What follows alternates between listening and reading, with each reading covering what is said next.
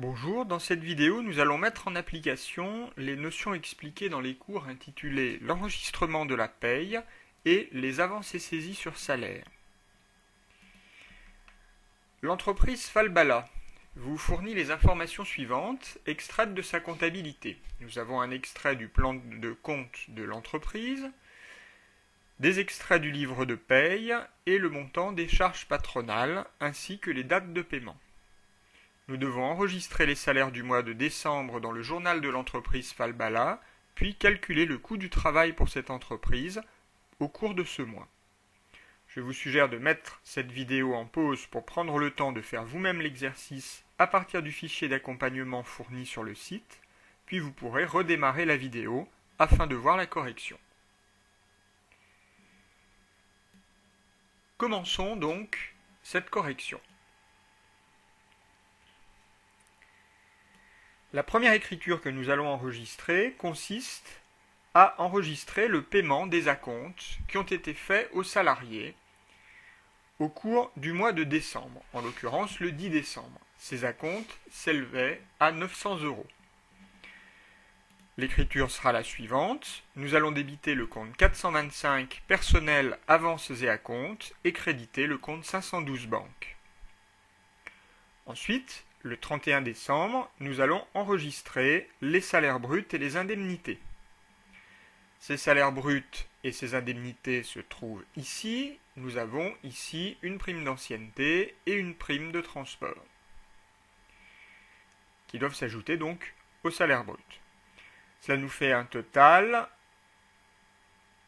qui s'enregistrera dans le compte 641. Alors ici, nous allons respecter le plan de compte qui nous était imposé et enregistrer dans le compte 641.1 salaires et appointements le salaire brut 10 500 euros, puis dans les comptes 64 131 et 64 132 les deux primes. En l'occurrence, la prime d'ancienneté est une prime soumise à cotisation sociale, la prime de transport correspond à des remboursements de frais et n'est donc pas soumise à cotisation. L'ensemble s'enregistre dans le compte 421 personnel rémunération due et constitue une dette sur le personnel. Dans notre écriture suivante, nous allons enregistrer les cotisations salariales. Ces cotisations vont se retrouver au crédit de compte 43. Là encore, nous allons respecter le plan de compte qui nous était fourni nous allons donc enregistrer dans le compte 431 Sécurité sociale le montant total relatif à la CSG, RDS, maladie veuvage et vieillesse, 1320,30 euros. Dans le compte 437.1 ACEDIC, le montant de l'assurance chômage. Dans le compte 437.2 Caisse de retraite complémentaire non cadre, 210 euros et dans le compte 437.3, caisse de retraite complémentaire cadre, 250 euros.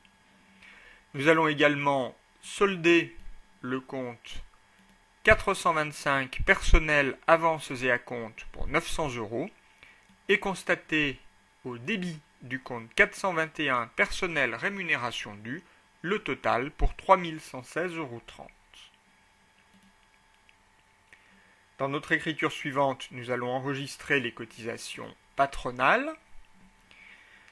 Nous allons retrouver les mêmes comptes 43 que dans l'écriture précédente, pour des montants évidemment différents, en regroupant dans le compte 431 les montants relatifs à la maladie veuvage, vieillesse, allocation familiale et accident du travail. Pour respecter le plan de compte qui nous est imposé, nous retrouverons au débit trois comptes 645, le premier pour l'URSSAF, le deuxième pour les caisses de retraite, le troisième pour les ACDIC.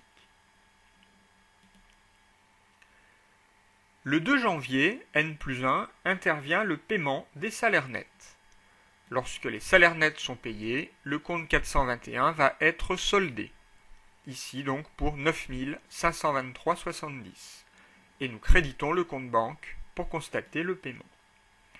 Le 15 janvier N plus 1, intervient le paiement des cotisations sociales. Cette fois-ci, ce sont les comptes 43 utilisés précédemment qui sont soldés par le crédit du compte 512 banques.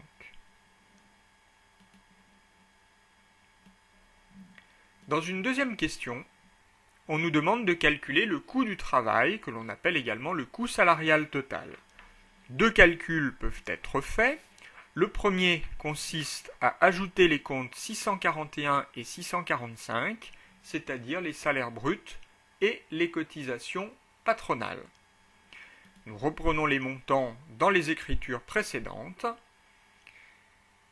et nous trouvons 28 113,55 euros. Le deuxième calcul consiste cette fois-ci à ajouter les montants des comptes 512. Nous avons trois montants enregistrés dans ce compte dans les écritures précédentes et nous retombons donc sur le même coût du travail, à savoir 28 113,55 euros.